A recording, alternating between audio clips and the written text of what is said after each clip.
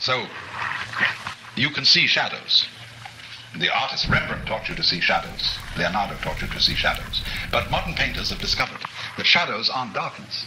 Shadows are light. Shadows are color. Shadows are full of vitality. We'll go more into that later when we come to this number seven. But there it is, you see, the, the, the, the, the world that we see, or think we see, is actually not the world at all, but is a selection of things that are in the world, a selection governed by certain symbolic processes. What a man ought to look like, what a woman ought to look like. And we try ourselves to dress and to behave in such a way as we live up to the symbolic requirements that are expected of us. Whether you belong to the left wing or the right wing, whether you uh, are Christian, a Jew, or Baptist, uh, Methodist, whether you're a Mohammedan, or what you are, just so long as we can get you put into a part, that is to say, into a symbolic classification. Now, what is the reason for that?